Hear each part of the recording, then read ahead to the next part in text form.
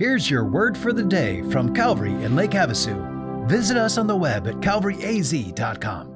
Hey, Calvary, it's Pastor Ruben from the Parker campus, and here's your word for the day. You know what I love about the Psalms is how honest they are. As followers of Jesus, we are going to be going through trials and tribulations. We are, because we live in a fallen and broken world because of sin. And sometimes we feel like we can't be open and honest with God about how we really feel about what's really going on in our hearts and our minds when we're going through those tough times. So I want to encourage you today that you can go to God. You can go to our Father and talk to Him about how you're really feeling. Listen to what it says in Psalm 137. It says this By the waters of Babylon, there we sat down and wept when we remembered Zion. On the willow trees, we hung up our lyres, for there our captors required of us songs, and our tormentors mirth, saying, Sing us one of those songs from Zion. How shall we sing the Lord's song in a foreign land? If I forget you, O Jerusalem, let my right hand forget its skill. Let my tongue stick to the roof of my mouth. If I do not remember you, if I do not set Jerusalem above my highest joy. Remember, O Lord, against the Edomites, the day of Jerusalem how they said, Lay it bare, lay it bare, down to its foundation. O daughter of Babylon, doomed to be destroyed.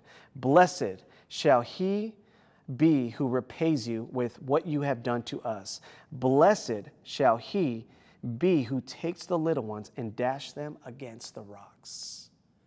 Wow, that can be a troubling psalm to hear because it is so honest. Look, they're in captivity and their captors wanted them to sing a song to them. So they do. And it's a song of payback, it's a song of vengeance. They sang an honest song of how they really felt. You see, there are moments in your life where you've been wrong, you've been hurt, you've been victimized, and you may have felt like getting revenge or taking vengeance yourself because, well, that's how you feel. But don't let those moments dominate your life. And don't let those moments become your identity. Remember, you're a follower of Jesus Christ, so your identity is in Christ. Remembering that vengeance belongs to Him, and it is the Lord who will repay. So, what do we do with these strong and honest feelings? We pray, but not just a general prayer. Okay?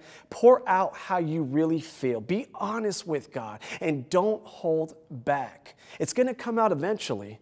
Remember, the Bible says, out of the abundance of the heart, the mouth speaks. So instead of taking it out on family and friends, give it to God.